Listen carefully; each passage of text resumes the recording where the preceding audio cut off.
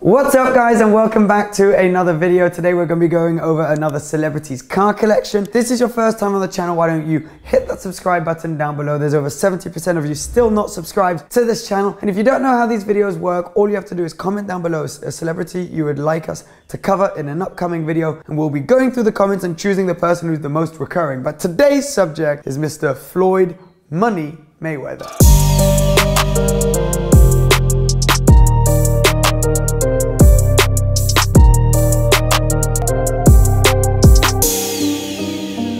A lot of you have been asking for this one and I, have, I don't know how we're gonna cover it exactly. We're gonna be talking about a lot of cool cars here guys. Not one, not two, but several Bugatti Veyrons, Ferrari Enzo, a Koenigsegg, a Aventador 650S, tons of Rollses. He has so many cars we're gonna have to do this basically in categories and I'm sure we've probably left one or two out. Floyd Money Mayweather, as you all know, is one of the most successful boxers of all time, which makes him one of the wealthiest athletes of all time. He's estimated to be worth over a billion dollars, around $1.2 billion, having once apparently taken in $350 million in one fight. So clearly he's got plenty of money to spend on cars. And that's exactly what he does. He has three car collections. One in Miami, which is kind of silver cars, one in LA, which is black cars, and one in Las Vegas, which is white cars. Themes them accordingly. There's the odd one here and there you'll see that stands out a little bit, but generally that's the way it goes. He's had so many cars over the years, it's hard to kind of track what, it's basically impossible to track what he has now, what's gone, what's still there, but here are some of the highlights. First off, we're going to start with his oldest car, which is a 1996 Mercedes S-Class. One of the first kind of luxury cars that he went out and bought and has kept ever since and has nearly 50,000 kilometers on the clock now. It's white, so naturally it belongs in the Las Vegas car collection. This is the first time I genuinely don't know where to start. Let's just say, let's go Bentley. Bentley Flying Spur. So he's had a Flying Spur, he's had a Continental. I mean, here's a photo where you can see some of his luxury cars. So obviously had a bunch of Bentleys. Uh, here's a little video of him also with his Bentley Mulsanne. He's kind of had the whole lineup from Bentley as well as Rolls Royce. We've had Wraiths, Ghosts, Phantom Coupes, Phantom Drophead, the new Phantom 8. Basically every luxury car you can dream of, he has owned. Very, very hard to know the value of all of these cars put together, but considering he's now also got the Rolls-Royce Cullinan in black, 4x4, um, all of these, most of them, the Rolls Royces and the uh, Bentleys have 12 cylinder engines. He's also had uh, a, a, few Maybach, a few, let me say that again, Maybach S600s. I think there's one in LA, one in Vegas, probably a few in Miami, New York, losing track. Let's round it up and let's say about $3 million in luxury cars. It could well be more because every single Phantom 8 at least would be worth about half a million each. And we've seen him in like two or three different ones. The drop heads are probably 400 grand each. Wraith is 300 grand. Ghost is 250 to 300 grand. When you add it all up, I think it's reasonable to say he's got $3 million in luxury cars. And that's probably an understatement. Before we get into the supercars, let's also talk quickly about G-Wagons. Now, recently he's actually bought a G-Wagon for his daughter. Well, he's bought a few G-Wagons for his daughter. There are a few different colors, the old pre-facelift G63 and now the brand new G63 so between all those G-Wagons, let's say, let's whack another 400,000 on there because each one would probably coming in, at least a new model at around $200,000, fully specced out G63. So considering there's been at least two we can save 400,000 on G-Wagons. Now, one of the supercars that we actually see in the white collection, which is the Las Vegas collection, is the McLaren 650S. Now, this is a V8 twin turbo from McLaren, around 650 horsepower, and those are probably running around $200,000 right now. When he bought it, it could have been more than that, around 250, but let's just say 200,000 because that's about what you can probably get a nice model with around a thousand miles like his for these days. The white collection, I mean, I'm so sure you've seen some of these cars already, but there's also a Porsche Turbo S Cabriolet, probably another $180,000. There is a Lamborghini Aventador V12, 700 horsepower, four-wheel drive beast. That's probably when he bought it, at least because he brought it brand new, at least $350,000. And his Ferrari 458 Spider. This is an naturally aspirated V8 from Ferrari, just over 500 horsepower. Awesome looking thing. Again, as you can tell, white, so it goes with the white collection, which is Las Vegas. This is another $200,000 car, at least, because you probably bought it new. You can tell we're being fairly conservative here with the estimations. Didn't quite stop there. Another white Ferrari is the 599 GTB Fiorano, apparently one of the first Ferraris that Floyd Mayweather bought himself. Now, back in the day, this was probably running him around 280 to 300,000 dollars. Today, you can pick them up for around 150, but let's say let's round it up to 220,000 because that's probably more realistically what he paid for the car. We then got another white car, which is the Mercedes SLS AMG. Now, these are interesting. The price of these, so it's a naturally aspirated V8, which was kind of made to commemorate the 300 SL Gullwing classic from Mercedes. These were actually, well, they were worth quite a bit, around $240,000 when they came out.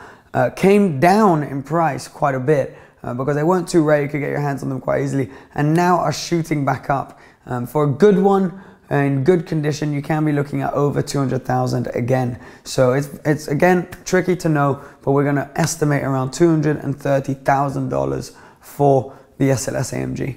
An SLR as well. Now this wasn't actually confirmed to be Floyd Mayweather's, but there is a photo of him and another car we'll talk about in a little bit. Next to one, uh, now, the reason I'm not so sure about this one is because it doesn't go with any of the themes of his garage. However, if it were to be his car, this one slightly tuned would probably be worth around $450,000. Awesome looking car, massive V8 in these side ex exhausts, gull wing doors. These things are epic. But for him, it's just one of the rest because he's got some even more epic cars. Right, guys, sit down because we're going to start talking Bugatti. And usually when we do these celebrity videos, the Bugatti is kind of the last car that we talk about. And I say do the Bugatti singular because we've only ever had someone who's had one. The closest we've gotten to having two, Kylie Jenner and Travis Scott, each having their own and being in a relationship. Floyd Mayweather does not have one, he doesn't have two, he doesn't have three, but he has four Bugatti Veyrons. All slightly different and they've come into the collection at different points. Wait, no, I'm just thinking he's actually got five. He's got five Bugatti Veyrons. Insane. Right,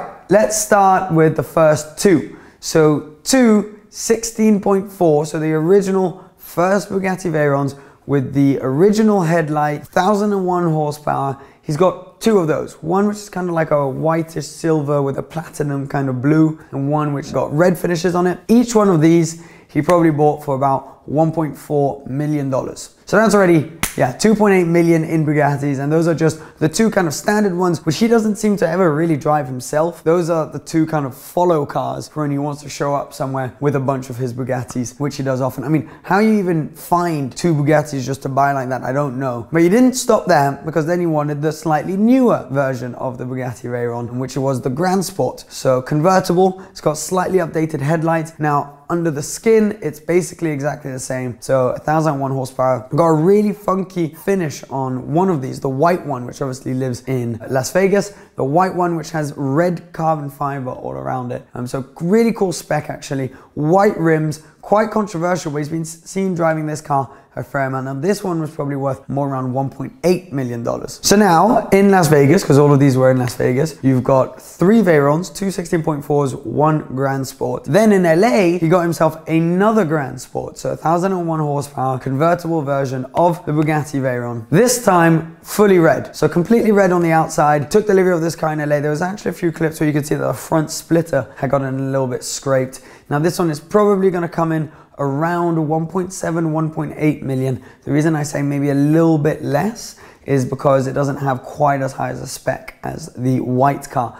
But yeah, basically identical cars in different specs, one in LA, one in Vegas. I mean, these are Bugattis we're talking about here. So not only do you have the buying price of them, you then have the running cost of these, which we know is around $50,000 just for an oil change. Pretty extreme. Now he then went on to buying another Bugatti, but this one completely different, a Bugatti Veyron Vitesse. So this one's got more like 1200 horsepower, and they actually completely kind of redesigned the car from the ground up. It's not just a little facelift with a little bit more power. They had to reorganize the way the air traveled around the car, the cooling systems in the car, and getting an extra 200 horsepower out of a 1000 horsepower engine is not that easy. So, you know, this is a W16, a quad turbocharged engine, massive thing, and was at the time the fastest convertible for sale. I believe he's actually sold this particular Veyron since. I believe it was also kept in Los Angeles, but this one probably came in for a whopping $2.4 million when he bought it. Veyrons have actually kind of come down in value since, so it's probably not worth that now, but we can safely assume he probably spent about that on the car. Another hypercar, which is around a similar cost. Apparently, reportedly, Floyd Money Mayweather paid $2.5 million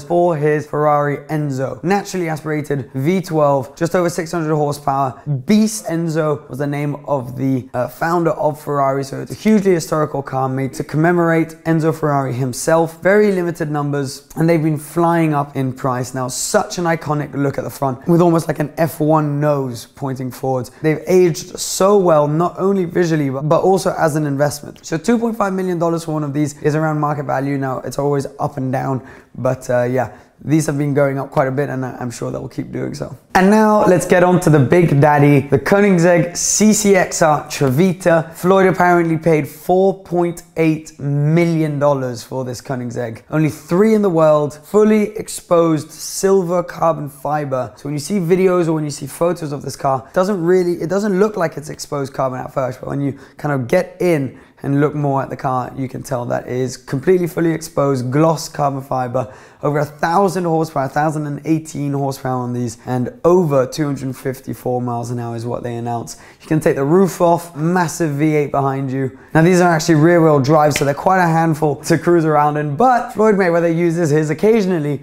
to go to the gym. As you can see in this video, he'll just casually take his $4.8 million Koenigsegg Trevita to go to his own gym in Las Vegas and often take a few Bugattis with him. Why not? You'll see in this video, he showed up to the gym with many Bugattis around him. Pretty impressive lineup right there. I mean, he's got what seven hypercars in his collection. Clearly, got a little bit of a thing for uh, for Bugatti. Now, he's been quite open about talking how some of these cars can be long-term investments. So the Koenigsegg, for example, potentially being an investment. Now, it was reported he paid $4.8 million for his Trevita. It's possible, but it does seem like a lot. You know, the market value of this car, I'm, I'm no expert, but I imagine would maybe be more around two to three million. So maybe that's not exactly what he paid, but it's what we've seen in most of the articles. So you're gonna see next to me a frightening number, which is the total value of Floyd Mayweather's collection.